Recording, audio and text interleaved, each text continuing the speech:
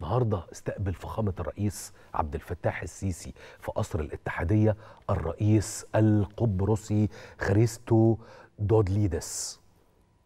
كويس.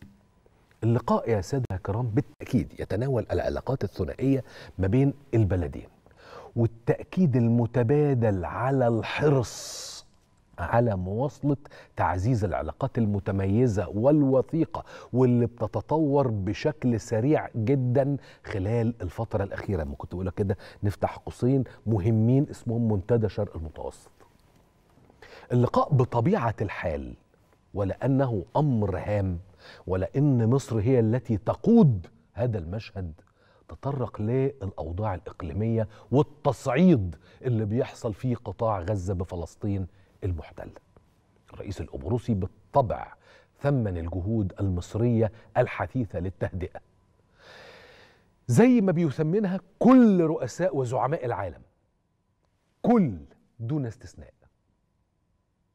وخصوصا كمان في الجوانب الإنسانية يعني مش بس التثمين على الدور السياسي آه، تبادل الأسرى ال- محاولة الجلوس على مائدة المفاوضات التهدئة الهدنة لا والجانب الإنساني العظيم العظيم واللي محدش بيلعب في حجمه غير مصر. وأكد حرص قبرص على التنسيق المستمر مع مصر في هذا الصدد بالتحديد خصوصا في ضوء رؤية مشتركة للبلدين بشأن أولوية العمل لإقرار السلام وضمان الاستقرار في الإقليم.